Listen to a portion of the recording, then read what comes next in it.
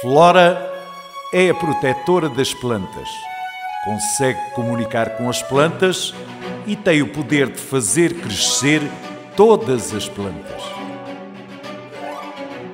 O Capitão Mundo tem o poder da sensibilização ambiental. Tem o poder de semear ideias que protegem o mundo.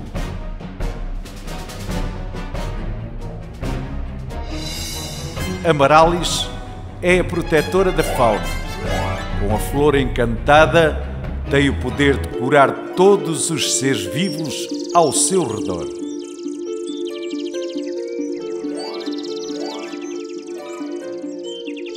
Super Negral é o protetor dos habitats. Quando toca a sua gaita de foles, a música protege todo o habitat.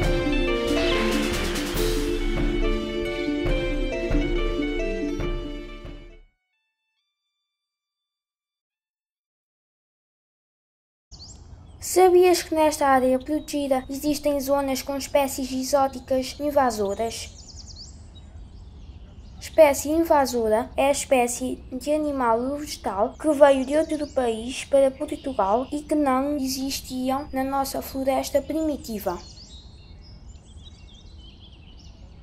Nesta área protegida, a acácia e o chorão das praias são as principais invasoras.